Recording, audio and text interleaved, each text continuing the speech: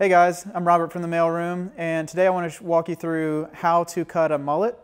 And we're going to be doing a mullet that goes pretty short on the sides. We're not going to go like down to bald skin, but it is going to be pretty short. And we're going to leave all this nice luscious beauty in the back and take it fairly short on top. So I just want to show you guys my approach, and let's get started.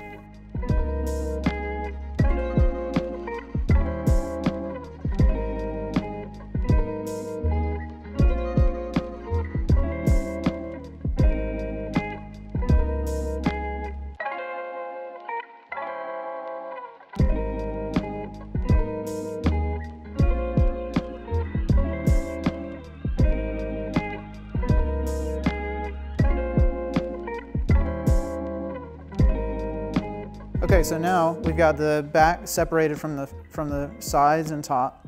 So now we need to separate the sides from the top. So I'm going to use my comb again to find out where the head rounds. And wherever my comb is at a 45 degree, that's, that's the round that I want to use. So I'm going to place my comb in there, make a nice clean line to the recession, and comb this down.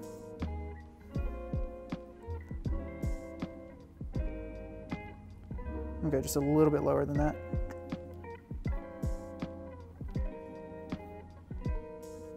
All right, so now that we have our section made, I'm just gonna clip off the top, just so that it's nice and clean and out of our way.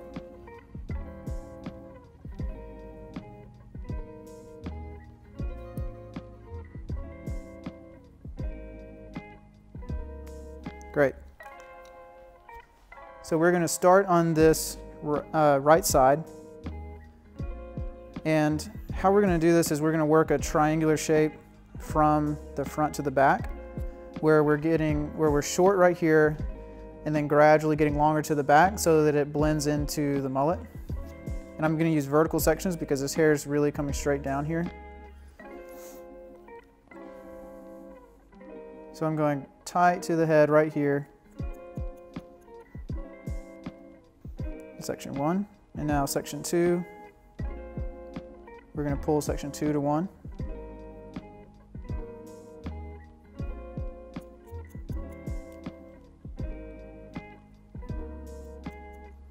Since we're going fairly short on the sides, this is going to stay pretty short all the way back to about here. And then we're gonna really start over directing forward to build in that triangular shape that'll let us blend from the sides into the back. That's the main problem I'm seeing with a lot of a lot of mullets that I, I see on YouTube. A lot of them just there's just no blend from the side to the back. And so it just looks really choppy here and it looks like you just kind of shaved up the side of the head. So we want to really make sure that this blends nicely so that it really flows back and has a lot of good motion and blend. So section three, getting pulled to two.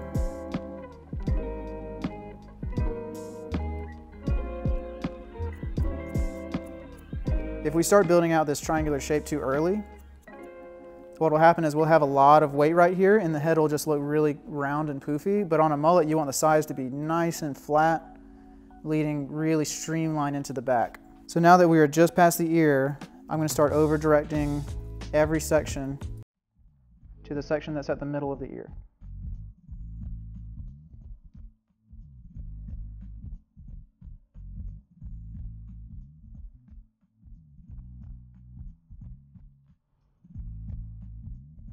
All right, so we're going to section off the crown as well. So I'm just going to make a round section right through here. I'll turn it so you guys can see it. Forgot to do this step when we were sectioning off the radial part. So I'm just going to make a triangular section on the crown just so we can really control it and we can work back in, into here.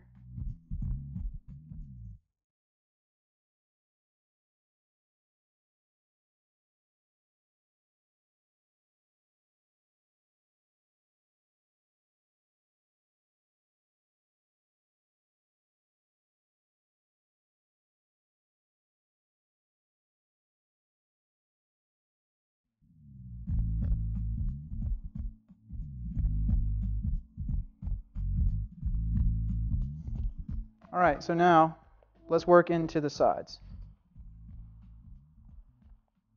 So we're going to keep working this back. directing each section over the ear. And I'm going to cut down to here, and then once we get close to the top of the ear, since I want to preserve all of the length in the back right here, we're going to start to pull out and slice.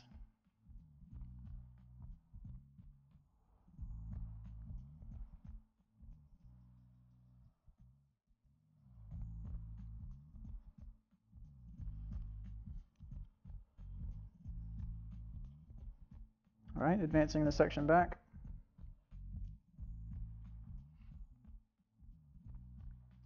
Over directing this section all the way over the ear.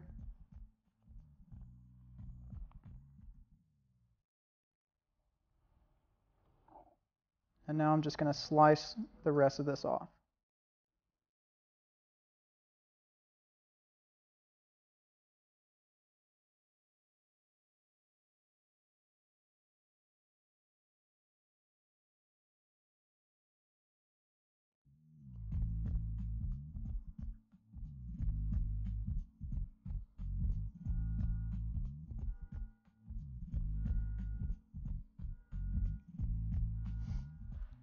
Check the motion to make sure it's doing what I want it to.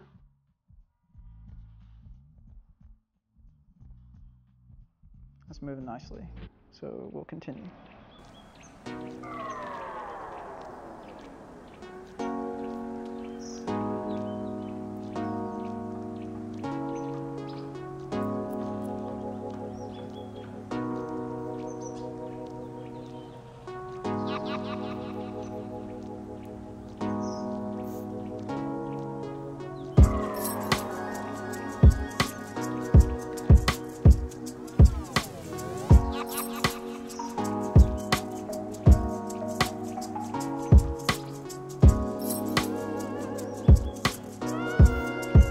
Work all the way until my last section gets to the middle back.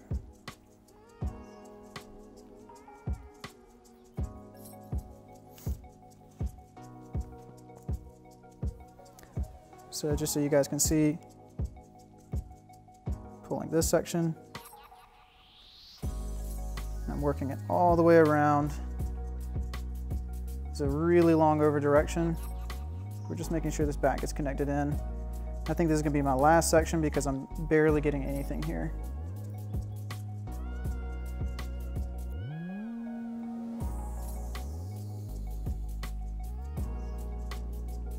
But now we can see that that just has so much nice flow.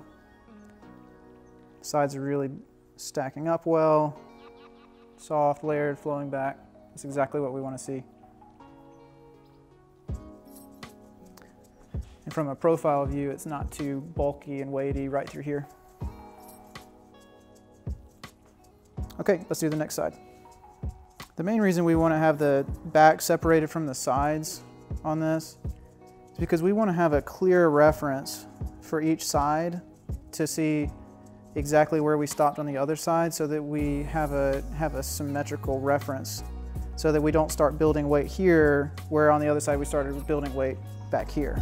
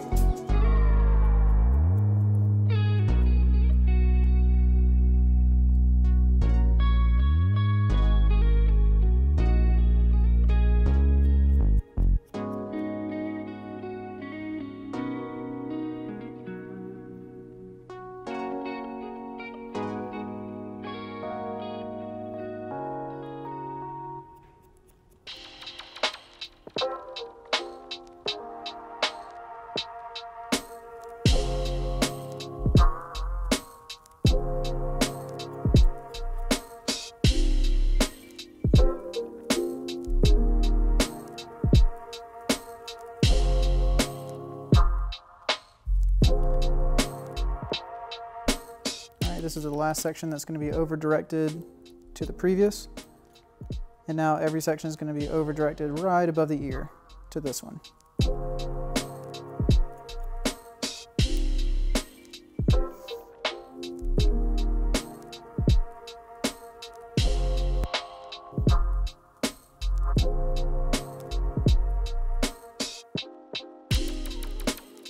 All right, guys, so this is a really tricky part of the haircut because right here we need to over direct above the ear, but we also need to slice out. And so it's, it's impossible to hold the hair like this. I mean, you could do it, but it's just really uncomfortable to try and go this way uh, to, to like slice that out. So what I like to do is I'll make my section and then instead of trying to pick up the hair like this, I'll flip the comb over. And now I'm pushing it to the front so I can grab the hair underhanded instead of, if I were like this, having to grab the hair overhanded. So once again, that's flip the comb around, push to the front, grab the hair underhanded, i find my guide. There it is.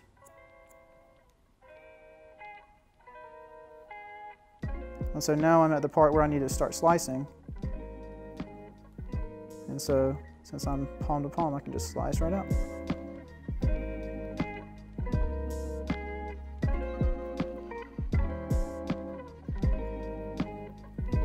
And so I'm going to use that same grip all the way down the side here.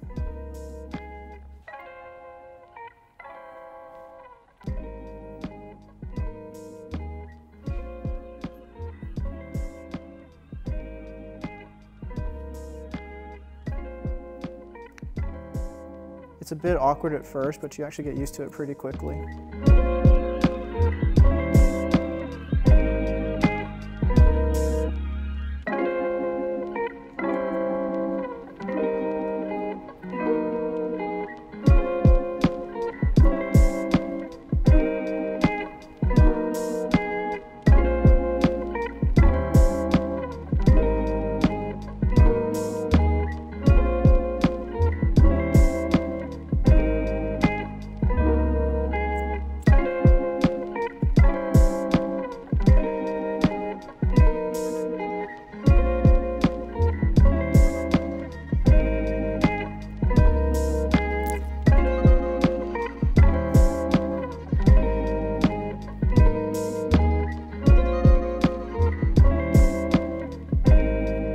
Right, so as I get closer to the middle back, I'm starting to see that there's less and less to cut. So I know I'm getting close to the end.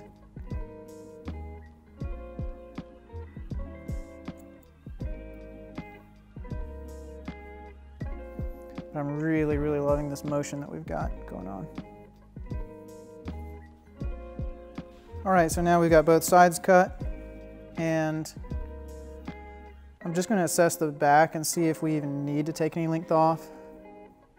I really don't think we do. So I'm just gonna let this crown down.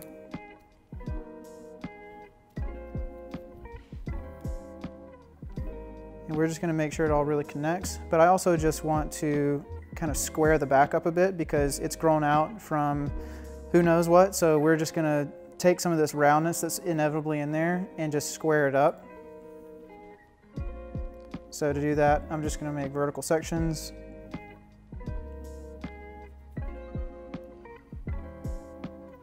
starting with the center one.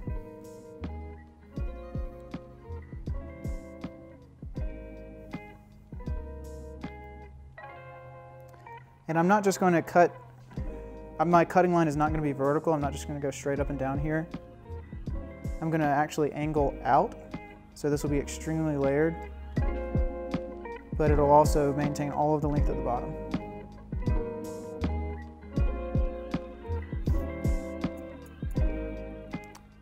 So our vertical shape is going to be triangular and our horizontal shape is going to be square. Once I get to the occipital, I'm slicing out just to make sure we leave all of the weight that we can at the bottom here. Okay, I'm going to split this section, get the right part out of the way,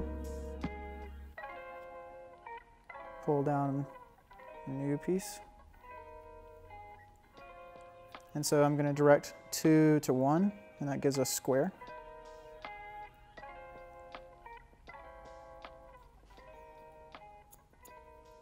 Angled out. Next part is past the occipital. So we're just going to slice that out.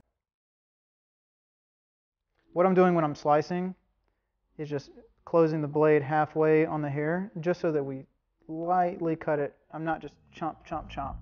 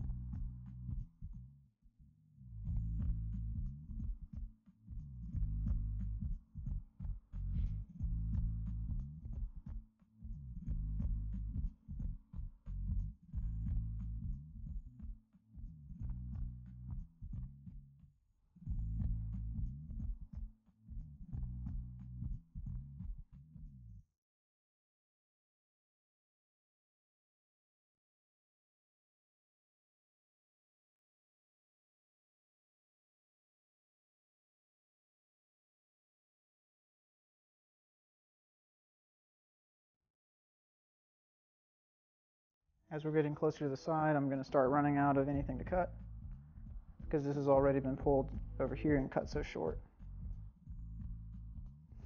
Yeah, and I don't have anything to cut. Okay, so we're going to move on to the right side.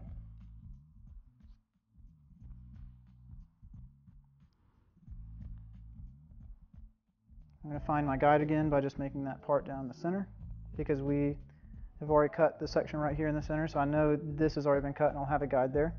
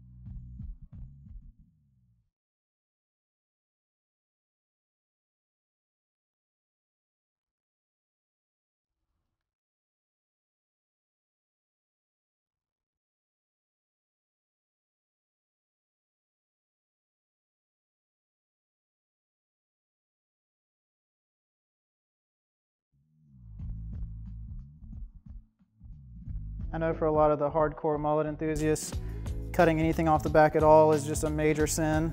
So I know some people are gonna hate that I'm cutting the back, but I need it to be in a nice shape and I want it to be layered and look nice. So I get that a lot of people wanna just totally leave the back and leave it really ratty and stuff, but I just prefer to put a little bit of shape in there.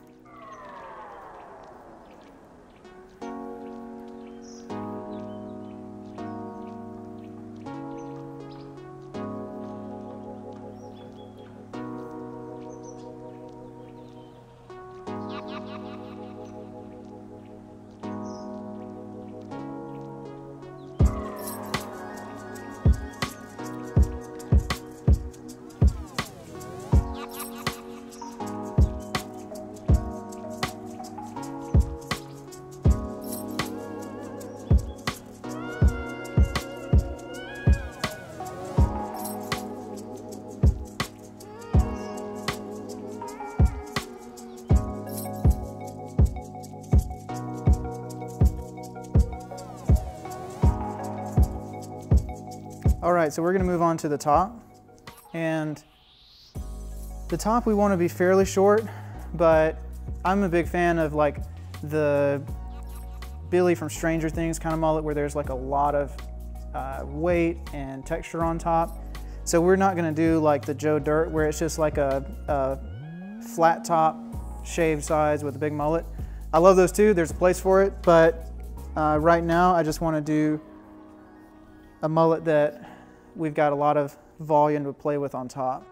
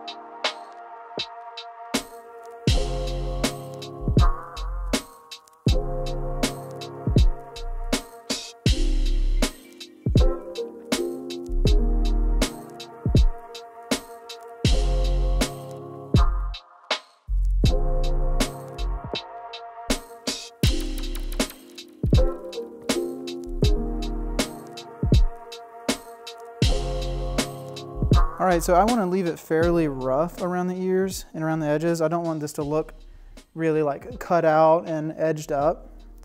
So what I'm going to do is just take the scissor in right here, just lightly point cut this. This will just look like he's lived in it for a couple of weeks.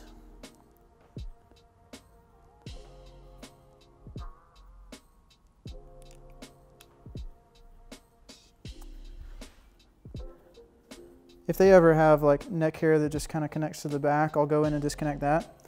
But he really doesn't have any neck hair that's showing below where the mullet stops. So I'm not even gonna worry about edging up the back at all. There we go. All right, let's blow dry it and throw a little bit of texture in there and we'll be done. Now that we've got it close to dry, I'm going to run back through and just add a bit of texture in the top and a little bit in the back.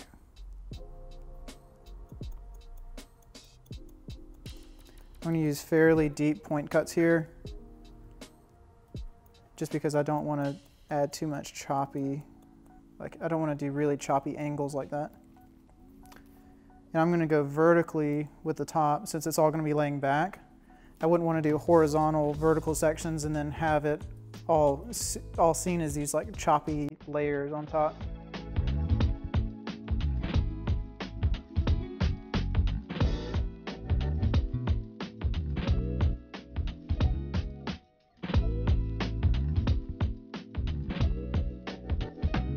Same thing in the back. We're gonna do some vertical layers and just add some chop into here just to help it have a little bit more motion, even though it's got a ton of good natural texture and motion already. We're just going to assist a little bit.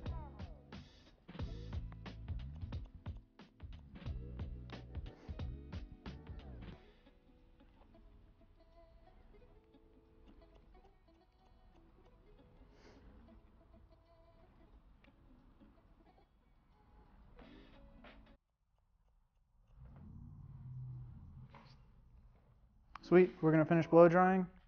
Throw a little bit of matte clay in there and we are set.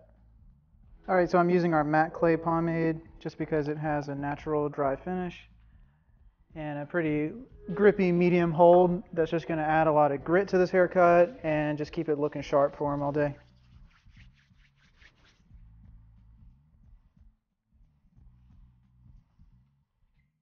We're just gonna get it really nice and worked through.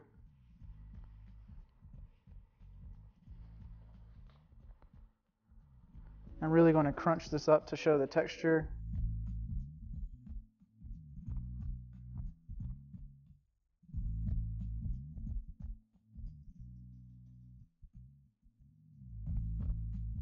One of the reasons I want to leave the top disconnected is because I love when it hangs over the side like this.